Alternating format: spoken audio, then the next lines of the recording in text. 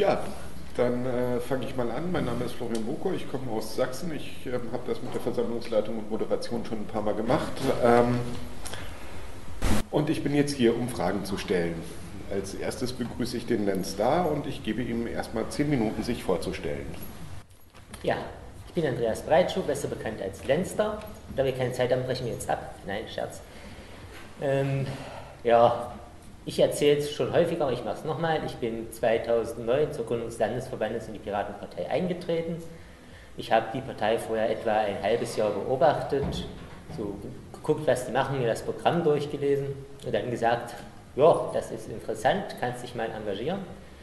Und der letztendliche Tropfen, der es fast zum Überlaufen gebracht hat, wo ich dann auch eingetreten bin, das war dieses Stoppschildgesetz. Ja, seitdem bin ich aktiver Einzelkämpfer in Bernburg, mache was halt geht übers Internet und immer den Kram, den sonst keiner machen will, vor allem Geschäftsordnungen und sowas, Satzungsanträge durchlesen, lektorieren. Und ansonsten bezeichne ich mich selbst immer gern als Denker. Ich bin jemand, der aus vielen verschiedenen Richtungen die Sachen zusammenzieht und daraus was bastelt. Das reicht dann. Okay, das war kurz. Ja. Dann ähm, stelle ich dir jetzt auch, wie allen anderen Kandidaten nachher, ähm, die fünf Standardfragen und du hast jeweils zwei Minuten, sie zu beantworten. Die erste Frage ist, welche Eigenschaften unterscheiden dich von den anderen Bewerbern, die dich qualifizieren, einen oberen Listenplatz zu bekommen? Ja, also da müsste ich natürlich erstmal ganz genau wissen, was die anderen Kandidaten für Eigenschaften haben. Das ist ein bisschen schwierig. Ich denke mal, den meisten wird so gehen, dass sie auch über sich selbst nicht alles Bescheid wissen. Ähm, jedenfalls, ich bin, wie gesagt, jemand, der sich viel mit diesen rechtlichen Sachen von Geschäftsordnung und sowas alles schon auseinandergesetzt hat. Ich bin jemand, der Text auseinanderpflücken kann, äh, daraus auch gucken kann, was ist wahrscheinlich gemeint, was wird so versteckt und ich denke mal, das wäre im Gesetzgebungsprozess doch ziemlich nützlich. Und allgemein bin ich mit Texten gut und versuche da immer meine Fähigkeiten einzubringen. Formulieren kann ich auch ganz gut. Und ich hoffe, ich habe noch weitere Fähigkeiten, die ich in das Amt einbringen könnte. Aber das müsst ihr dann alle auch selbst mit entscheiden, ob ihr mich in den verschiedenen Bereichen für fähig haltet. Hast du dich schon darauf vorbereitet, als Kandidat der Piraten Sachsen-Anhalt anzutreten und wie sieht diese Vorbereitung aus? Ja, also am Anfang steht natürlich erstmal das Überlegen, kann man sowas machen, traut man sich das zu, da habe ich ein paar Monate drüber überlegt und mich dann, wie es bei mir üblich ist, zum Jahreswechsel dazu entschlossen zu kandidieren. Ähm, was jetzt so das direkte Abgeordnetensein betrifft, ähm, da kommt dann manchmal die Frage nach den äh, Ausschüssen. Ich habe mir jetzt nicht im Einzelnen angeguckt, welche Ausschüsse es alles gibt, diese Riesenliste. Ähm, die ändern sich ja auch ständig und letztendlich kommt es darauf an, dass man seine eigenen Themen auch in den Ausschüssen mit reinbringt und durchsetzt. Und ansonsten habe ich mich halt äh, bei der ehemaligen Landtagsabgeordneten hier Barbara noch informiert. Ich habe da ja auch gesagt, dass jeder einen Text schreiben soll für alle Kandidaten. Das war ganz nützlich. Und ja, ich weiß, dass das Riesenhaufen Arbeit ist und viel Stress. Und aber ich denke, ich schaffe Nicht jeder hat nur Freunde. Daher würde mich interessieren, wie du dafür sorgen willst, dass dich auch Leute unterstützen, denen du in der Vergangenheit auf die Füße getreten bist, beziehungsweise die du vielleicht auch mal persönlich angegriffen hast.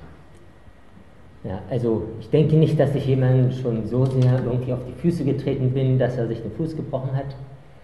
Ähm, aber natürlich gibt es immer wieder Unstimmigkeit mit Leuten. Viel passiert auch einfach dadurch, dass man sich auf eine E-Mail zum Beispiel dann missversteht, da muss man mit den Leuten reden. Und ansonsten ist die Frage nach der Motivation die große Frage, die uns alle umtreibt. Wie kann man die Leute dazu bringen, verschiedene Sachen dann auch zu erledigen? Ähm, ich habe ein paar Sachen schon mal ausprobiert, einige haben geklappt, ein paar andere nicht. Ähm, ich hoffe einfach, dass ich mit persönlicher Ansprache dann auch die Leute dazu kriege, dass sie sich auch für unsere Ziele, für die sie auch in die Partei eingetreten sind, wieder mehr einbringen als in den letzten paar Wochen. Du möchtest als Sprachrohr der Piratenbasis in den Bundestag einziehen. Wie schätzt du eigentlich dein Verhältnis zu der Basis ein? Also zuerst einmal ist man nicht nur Sprachrohr der Piratenbasis, sondern ist verantwortlich für mehr als 100.000 Leute. Ähm, und was das äh, Weitergeben betrifft, ich denke mal, ich bin trotz meines Einzelkämpfertums in Bernburg nah genug dran, dass ich weiß, was das Piratenherz so bewegt. Und ansonsten bin ich ja immer offen für Vorschläge, die man dann auch einbringen kann. Und denke, dass ich hier keine großartigen Kommunikationsprobleme habe. Wir haben ja die Gewissensfreiheit der Abgeordneten. Wie würdest du mit der Situation umgehen, wenn es zwischen der Basismeinung und deiner persönlichen Meinung Abweichungen gibt und du vor einer Abstimmung stehst? Also das Grundgesetz ist da ziemlich eindeutig. Der Abgeordnete unterliegt seinem Gewissen. Ähm, ja, also generell ist es so, dass bei Abstimmungen erstmal das äh, Parteiprogramm ausschlaggebend ist. Wenn ich dann aus welchen Gründen auch immer große Gewissensbisse habe, muss ich natürlich nach meinem Gewissen entscheiden, aber das muss dann natürlich auch sehr gut begründet werden, warum man jetzt diesem Parteitagsbeschluss beispielsweise widerspricht. Bis jetzt gibt es, soweit ich weiß, keinen Programmpunkt, mit dem ich nicht zumindest halbwegs mitgehen könnte, was an sich schon ein bisschen überraschend ist mit unserem doch recht umfangreichen Programm. Und ich denke, es wird auch in Zukunft nicht so stark von meiner persönlichen Meinung abweichen, was so beschlossen wird. Das waren die Standardfragen und jetzt bitte ich um die Fragen aus dem Pad. Die stellt wer? Keine Fragen. Es gibt keine Fragen aus dem Pad.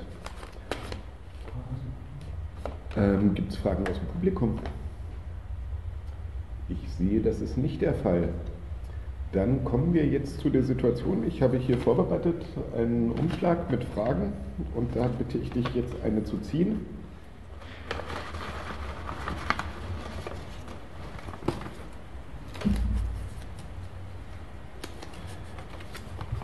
Was hältst du von unserem Grundsatzprogramm?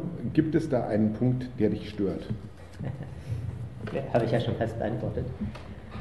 Ähm, also generell gibt es keinen Punkt, bei dem ich sagen kann, damit kann ich überhaupt nicht leben.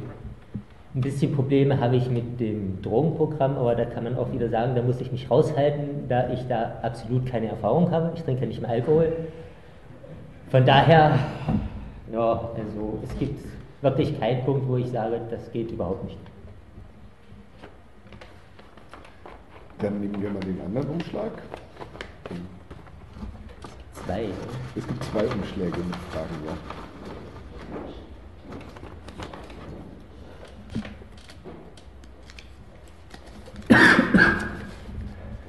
Was sagt deine Familie zu deiner Kandidatur? Das kann man eigentlich in einem Satz zusammenfassen. Suchte lieber eine vernünftige Arbeit. Ja, das war es wirklich schon. Okay, gibt es äh, mittlerweile Fragen im Pad oder aus dem Publikum? Gut, dann machen wir einfach weiter mit den Fragen zu. Wir sehen eine nur lange Ladung. Ja. Ich muss ein bisschen Zeit aufholen. Was hältst du von einer Karenzzeit nach dem Ausscheiden aus dem Bundestag? Äh, ja, also das ist jetzt wirklich eine Frage, die ein bisschen kompliziert ist. Grundsätzlich halte ich nichts davon, wenn man sagt, dass ein Politiker dann drei Jahre lang überhaupt nichts arbeiten darf. Was natürlich äh, für mich klar ist, dass ein Politiker, der in seinem Bereich beispielsweise in die Gesundheitspolitik irgendwas entschieden hat, nicht sofort bei einer Pharmafirma anfängt, sondern dass da halt zwei, drei Jahre dazwischen liegen müssen. Es ist natürlich schwierig, das irgendwie ganz genau festzulegen, vor allem wenn sich dann Leute, wie es meistens ist, als Unternehmensberater niederlassen, da dann zu sagen, du hast für dieses Unternehmen irgend, äh, in dieser Politikrichtung irgendwas entschieden, jetzt darfst du für diese Unternehmensrichtung nicht beraten, das ist auch wieder schwierig. Also generell bin ich für eine Karenzzeit, wie man das allerdings wirklich umsetzt, ist noch, habe noch keine feste Meinung, es ist ein sehr schwieriges Thema. Wir haben eine Frage aus dem Publikum. Lenny, ähm, Frage an dich. Wir haben ja äh, eine Wahlbeteiligung von knapp 50 Prozent. Das heißt, 50 Prozent der wahlberechtigten Bürger haben sich aus, dem, aus der Demokratie, sage ich mal, innerlich verabschiedet, könnte man sagen. Ähm, wie möchtest, also was stellt ihr vor, wie kann man die Leute wieder dazu bringen, die Demokratie und, und unsere, unsere, Gesellschaft damit äh, zu gestalten? Ähm, also grundsätzlich ist Demokratie ein Recht, aber auch eine Pflicht, der die Bürger dann auch selbst nachgehen wollen müssen. Ähm, wie man sie dazu bringt, das auch zu wollen, das ist die ganz große Frage. Es gehört auf jeden Fall auch eine echte Demokratieerziehung dazu. Es gibt den schönen Satz, dass Demokratie die komplizierteste aller Staatsformen ist und erlernt werden muss.